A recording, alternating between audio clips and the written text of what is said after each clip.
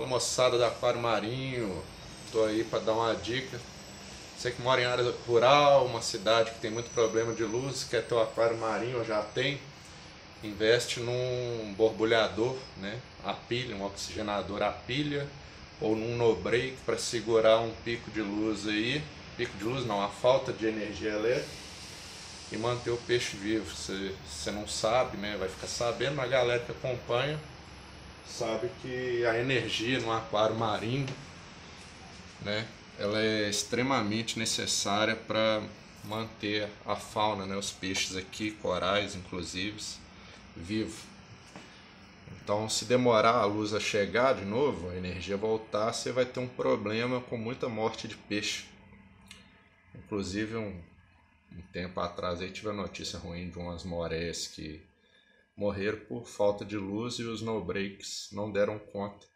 A eletricidade demorou a voltar e, infelizmente, elas faleceram aí. Então, tá aqui, ó. Eu orientei minha mãe por telefone, saí lá da minha casa. Aí falei, em cima da luminária, coloca um pano para vibração do aparelho não fazer ele ir andando e cair no aquário. Então o pano aqui é para a vibração não andar.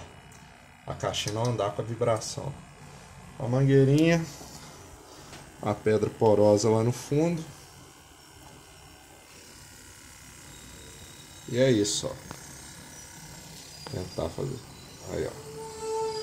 Então fica a dica. Mora em área rural, numa cidade que tem problema de abastecimento de energia investe aí num aparelhinho desse. Esse aqui é um boio a pilha.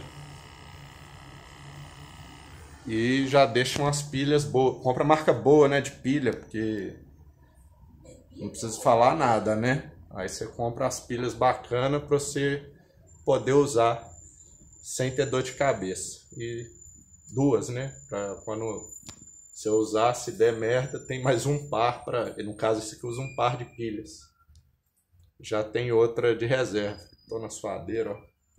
Mas é isso, então a vida aqui tá garantida. Vídeo no escuro. E pronto, vou parar por aqui. Não tem mais nada para falar, enrolar para vocês não. Abraço aí do aquarismo e médico veterinário de animais não convencionais.